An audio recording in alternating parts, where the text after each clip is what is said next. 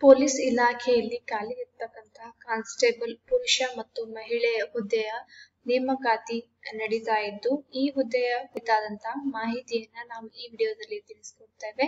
ಕೊನೆಯವರೆಗೂ ನೋಡ್ತಾ ಇರಿ. ಇದೊಂದು ಆನ್ಲೈನ್ ಮೂಲಕ ಅಪ್ಲಿಕೇಶನ್ ಅನ್ನ ಹಾಕ್ಬೇಕಾಗತ್ತೆ.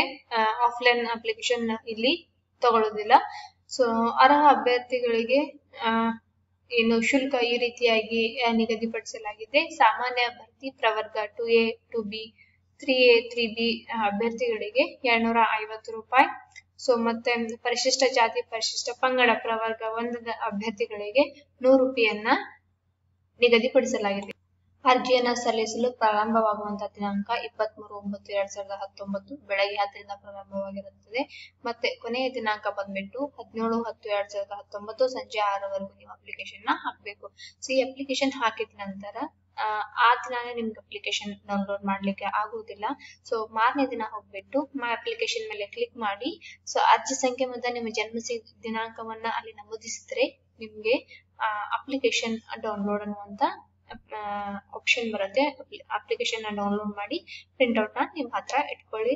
ಸೊ ಮುಂದಿನ ಎಲ್ಲ ವ್ಯವಹಾರಗಳಿಗೆ ಅದು ಬೇಕಾಗಿರುವಂತದ್ದು ಪೊಲೀಸ್, ಕಾನ್ಸ್ಟೇಬಲ್, ಪುರುಷ ಖಾಲಿ ಇರತಕ್ಕಂತ ಹುದ್ದೆಗಳು ಸಾವಿರದ ಆರ್ನೂರ ನಾಲ್ಕು ಮತ್ತು ಮಹಿಳೆ ನಾಲ್ಕನೂರ ಒಂಬತ್ತು. ಒಟ್ಟು ಹುದ್ದೆಗಳು ಬಂದ್ಬಿಟ್ಟು ಎರಡ್ ಸಾವಿರದ ಹದಿಮೂರು.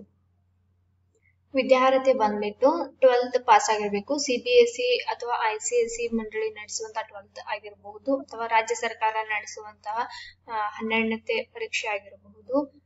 ಅಥವಾ ನೀವು ಮೂರು ವರ್ಷಗಳ ಡಿಪ್ಲೊಮೊ ಅಥವಾ ಎರಡು ವರ್ಷಗಳ ಐ ಟಿ ಐ ಕೋರ್ಸ್ಗಳು ಮಾಡಿದ್ರು ಕೂಡ ನೀವು ಇದನ್ನ ಅಪ್ಲಿಕೇಶನ್ ಅನ್ನ ಹಾಕ್ಬಹುದು ವೇತನ ಶ್ರೇಣಿ ಬಂದ್ಬಿಟ್ಟು ಇಪ್ಪತ್ತೊಂದು ಸಾವಿರದ ನಾಲ್ಕನೂರಿಂದ ನಲವತ್ತೆರಡು ಸಾವಿರವರೆಗೂ ವೇತನ ಶ್ರೇಣಿಯನ್ನ ಹೊಂದಿದೆ. ಮತ್ತೆ ಈ ಹುದ್ದೆಗೆ ಪಿಂಚಣಿಯ ಸೌಲಭ್ಯವನ್ನ ಅವರು ನೀಡ್ತಾ ಇದ್ದಾರೆ. ಸೊ ಈ ಹುದ್ದೆಗಳ ಡಿಟೇಲ್ ವಿವರಗಳ ನೋಟಿಫಿಕೇಶನ್ ಅನ್ನು ನಾವು ಡಿಸ್ಕ್ರಿಪ್ಷನ್ ಬಾಕ್ಸ್ ಅಲ್ಲಿ ಪ್ರೊವೈಡ್ ಮಾಡ್ತಿದ್ದೀವಿ. ಸೊ ನೀವು ಆ ಲಿಂಕ್ ಥ್ರೂ ಹೋಗ್ಬಿಟ್ಟು ನಿಮಗೆ ನೀವು ಅರ್ಹರಾಗಿದ್ರೆ ಸೊ ಈ ಹುದ್ದೆಗೆ ಅಪ್ಲೈ ಮಾಡಿ ಅಥವಾ ಸೊ ಯಾರಾದ್ರೂ ನಿಮ್ಗೆ ಗೊತ್ತಿರೋದಿ ಗೊತ್ತಿರೋರು ಇದ್ರೆ ಅವರಿಗೆ ಶೇರ್ ಮಾಡಿ. Thank you